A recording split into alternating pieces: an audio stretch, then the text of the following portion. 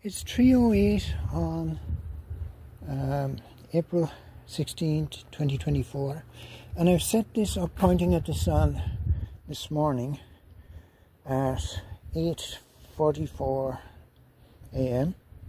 pointing at the sun and uh, it wasn't as good yesterday but today it is this good at 3.08 p.m. and um, it um, when I set it up um, I set it up at the starting time in, in the shed. I didn't actually even look at this. And uh, this is how accurate it can be. And uh, the wooden wheel that um, times it and that turns it I just cut it out uh, with um, a little jigsaw. So it's um, amazingly accurate. And um,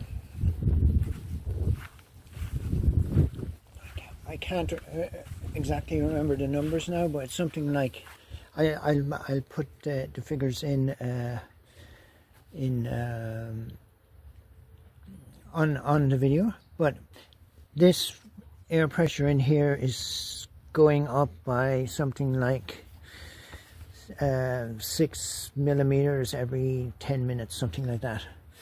And air pressure goes up and this water goes, um, pushes water down, pushes water up. And, and this is the timing circuit, if you will. Just this little thing. If this is tight, slows down the, excuse me, the water going uh, through the um, airlift pump. And here's the airlift pump. That's the amount of of water coming up that is moving that thing. So it's this pulls down that pushes up and uh, that's all it's taking to move this um, between uh, I shut off at six o'clock when the when the sun goes over the house and you can't see it anymore.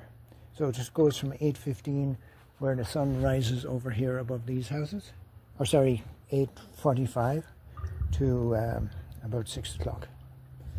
And this is the the speed of it.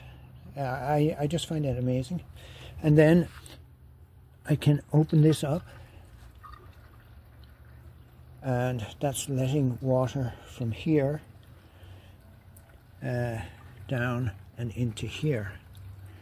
And I'm just going to go over to I'll show you the effect this has. Just coming over here now. And this is how quickly it's moving it back. So it's going off of it's no longer tracking but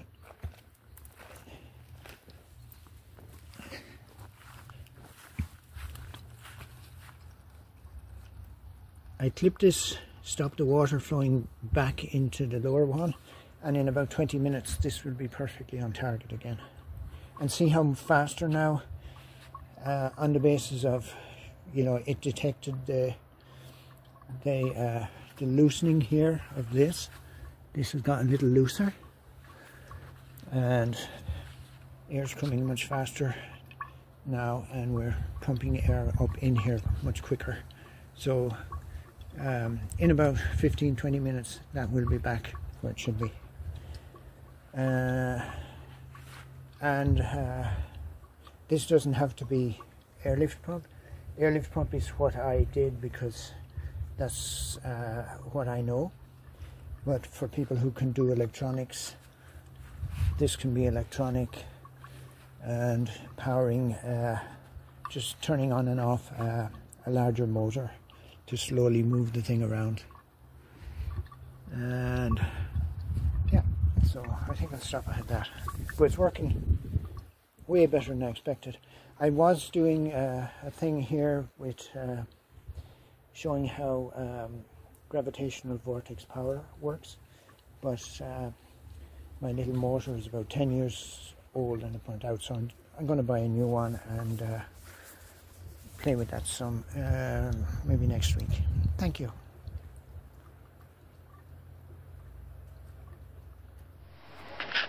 So this is my demo of equatorial mount. I have a counterweight here which isn't heavy enough. Another alternative would be one of those here on sticks going up a bit higher. So if this one would be getting this part of the sun, the other one would be getting the higher sun.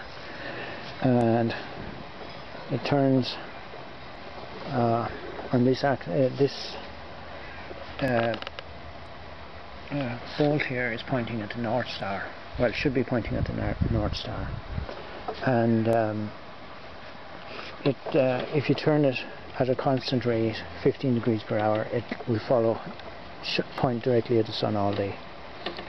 So that's the reason for um, putting on the tilt, because no, any other way you do it, it won't um, the constant rate, uh, the rate has to be changed. And constant rate you can do with all sorts of stepper motors and things. And DC motors as well can do a constant rate. So uh, tilt is uh, it's called the declination of the sun and you can find that uh, pretty easily online. So these are for me later um, the reason I have this like this is because I could decide to mount a solar cooker on it instead of the solar panel. And I have the 15 degree marks, which is the hour marks. So I'll be able to adjust this forward of the sun if I decide to do solar cooking on it. So um, I plan to put um, uh, a gear wheel on it here and turn it from here.